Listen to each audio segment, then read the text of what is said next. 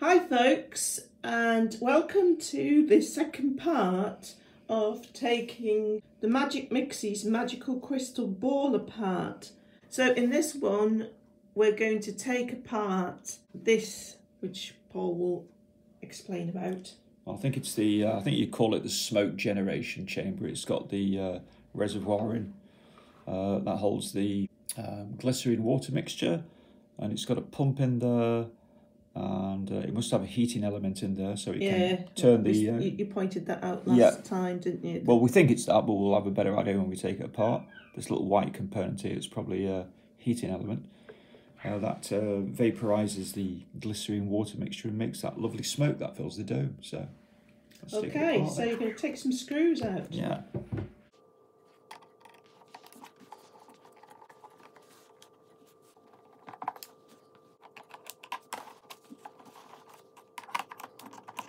So it looks like it's sort of held in by the two, by the plastic Yeah, shell. it does. Yeah. It's actually holding it in place, Mm. so you could take the whole thing apart. Oh, it's coming. Ah, oh, that's that's good. That's good. Fan there. Oh, it's a fan, is it? Mm, that's used for, must be used for blowing the um, the smoke into the chamber.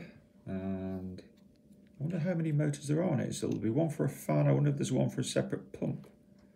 I suspect. Is that a motor in there? That silver thing? Is that a pump motor? I wonder if we should power it up and see. Uh, have a look at it and see how, how it Yeah. operates. Want to start it? Uh, pumps come on. Oh, the pumps come on. And you can see it's blowing smoke out as well. So that's an air pump then. Here's where the smoke comes out of. Maybe it doesn't use a pump to put the glycerine on the heating element, but it might be fed by. Um, I'm not sure how it would get up there, gravity or a wick or something like that. So that, that was very quiet, of course, because the uh, vibration from the little blower motor is, wasn't transferred to the body, so you could hardly hear it operating. Mm. Let's just turn this off then. So we would have to take it apart further. hmm These two wires, uh, they're definitely supplying uh, current to the um, Heating element. heating element. So, and it, the heating element looks like it might be on this red circuit board. So let's take it off and see what it looks like. You know when you said it's an air pump, what Mm-hmm. does that mean? As as opposed to what? Um, as opposed to a liquid pump. Ah, It's um, it's it's secure. It's uh, a, the the fan on here is designed to um, it pulls air in by rotating and pushes it up through uh, past the heating element on which the glycerine is dripping. right. It's a sort of fan you might get on a, a on a three D printer. They're not they're not normal fan blades. You can see they're sort of like blades that are vertically and they're on their outside, so it doesn't look like a normal fan. Right. They uh, they can generate a higher pressure. Those types of fans than the ones with the fan blades on. They've got what's called a high static pressure.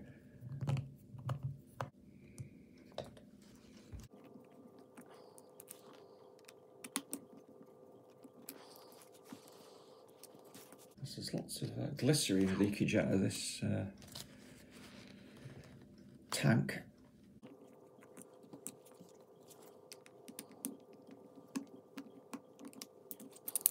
Okay, so there's plastic clips as well as screws to hold the tank together. These um, black lines are like seals. Like this is a seal, like a rubber seal. Um, and a vibration mounting for the motor.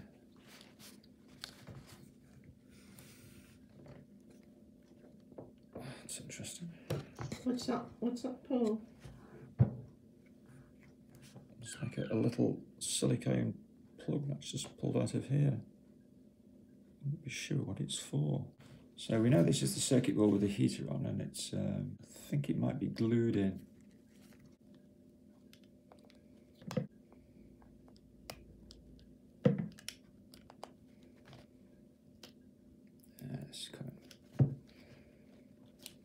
Okay, this is interesting.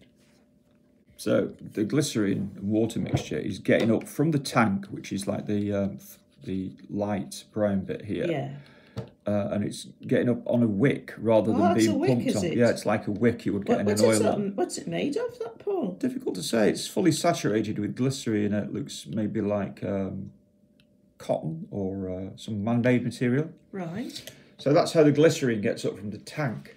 Uh, the heating element is in uh, is surrounded by this uh, silver, looks like tin-plated steel. Yeah.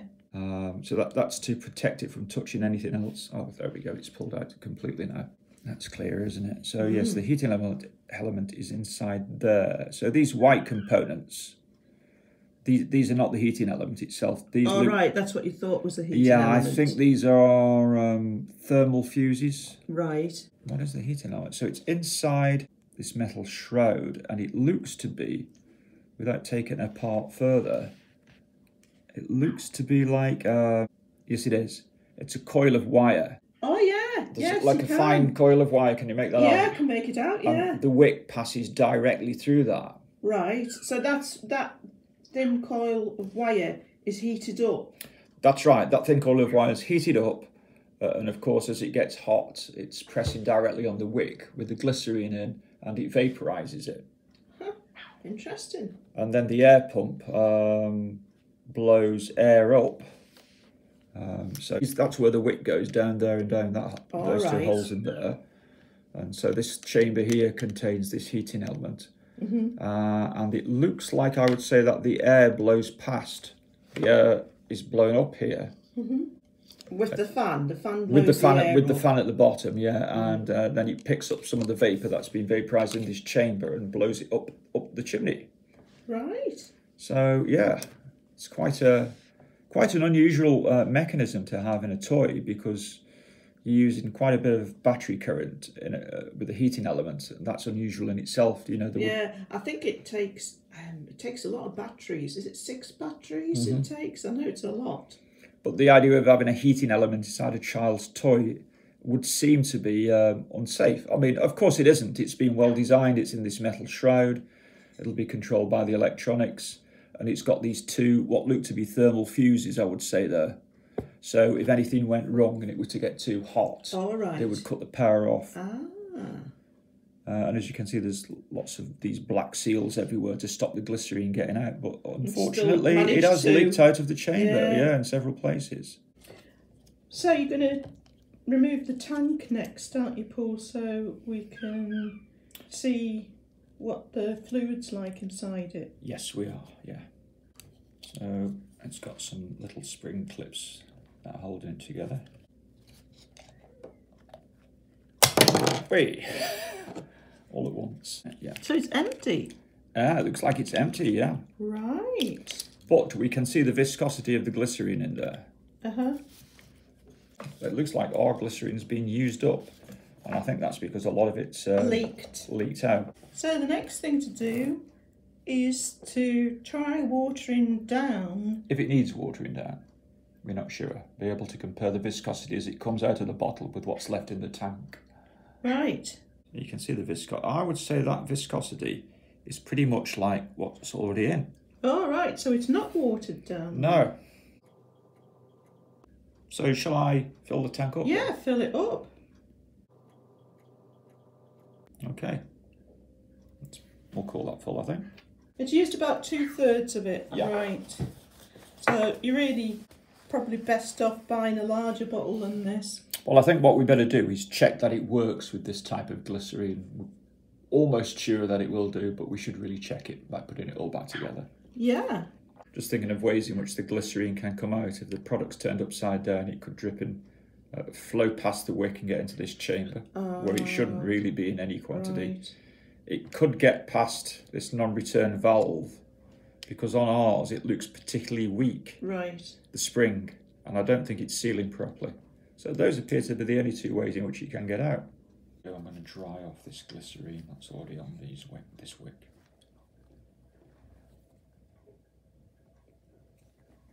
Okay, so we're going to pass the wick through the hole. That's a bit lower. Uh, a bit lower. That's it.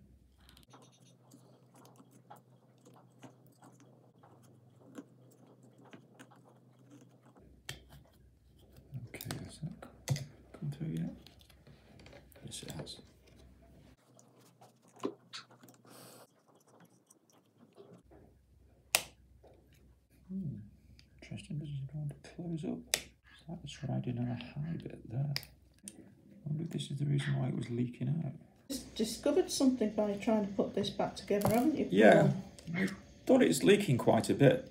Mm-hmm. Um, and these black seals are obviously meant to stop that. Mm-hmm.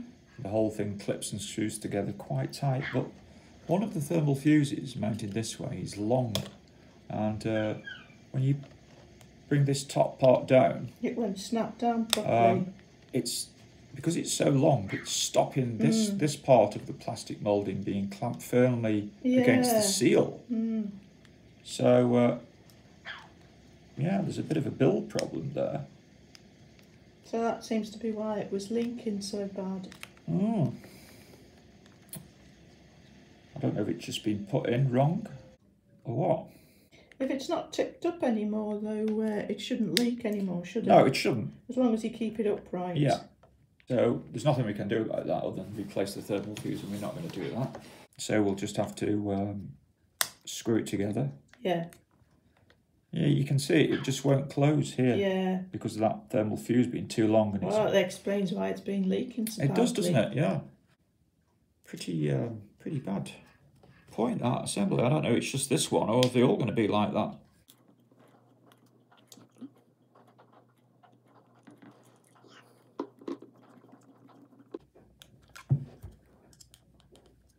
That's the top assembled. Okay, so now we can put it back on The reservoir. the reservoir and go the wicks.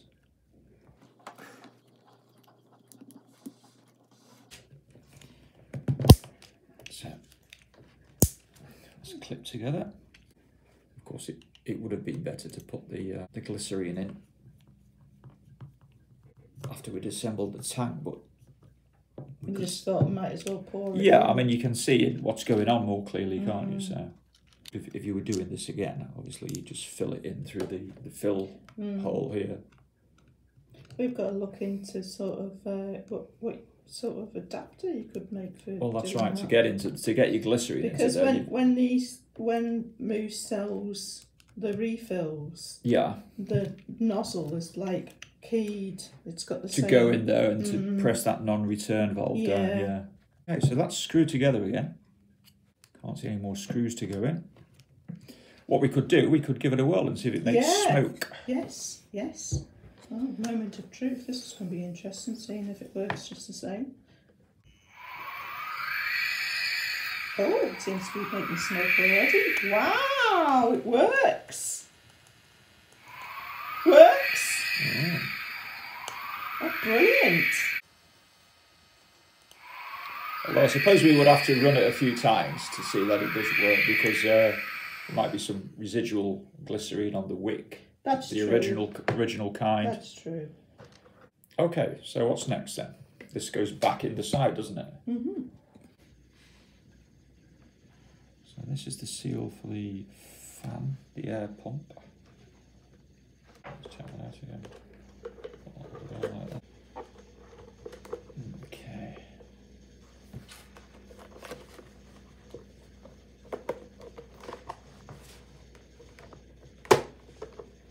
It this time. Yeah, that's it. So that's all we've got time for in this video. Okay, so we wouldn't advise anybody to do this to the Magic Mixies crystal ball because uh, we aren't sure if the glycerine that we used is Is exactly is the same. exactly the same as the one that the It's manufacturer. experimental. It's experimental, yeah. So this has just been an experiment. So don't really do this to your own uh, toy unless you feel ultra confident because it may end up in its uh, destruction or malfunction. But we're going to be trialing this for a while. We're going to do another video trialing this out several times. and we'll report back. But that's it for this video, folks. Thanks for watching as always, and see you next time.